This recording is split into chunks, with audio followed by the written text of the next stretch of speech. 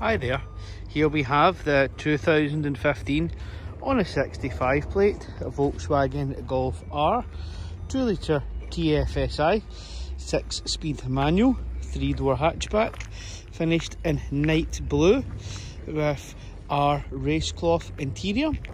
This outstanding example has covered just 64,343 miles from new and in this time it's had three former keepers.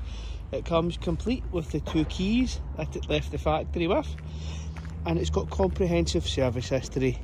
The vehicle has just been serviced by our own workshop for sale. It's also had rear brake discs and pads fitted there at the same time and two new front tyres eh, of which we put premium Uniroyal Rain Sport 5s on there so wet grip is assured as naturally Scotland's quite a wet country. It's an excellent example in one of the rarer colours. As you can see, it looks absolutely awesome in the rare Scottish sunshine. And it wears the 18 inch Cadiz wheels, which give the better ride quality, but they still look awesome in the diamond cut and black finish, as you can see. So we've got the Xenon headlights here with the LED daytime running lights and the R badge on the front grille. Certainly does cut a menacing profile coming up behind you. If we take a wee look inside, we can also see it's just as nice in here too. So well, it's a three door hatchback and we've got the light grey Alcantara and grey race cloth seats. We've got genuine Volkswagen mats. You can see the two keys there and you can just see a little shot of the mileage just there. You've obviously got the blue speedo dials and the blue ambient lighting down here which lights up at night and looks awesome.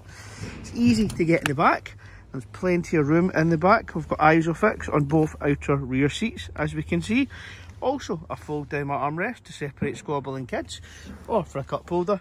Got the central armrest there, and we've got Bluetooth audio and telephony, DAB radio, dual zone climate control.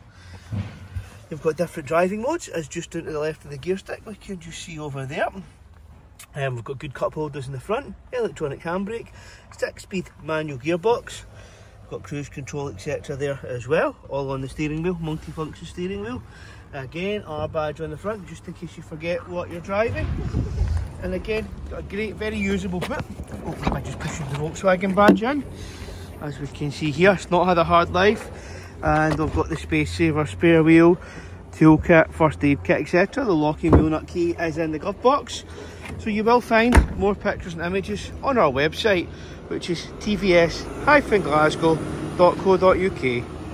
Thank you for watching.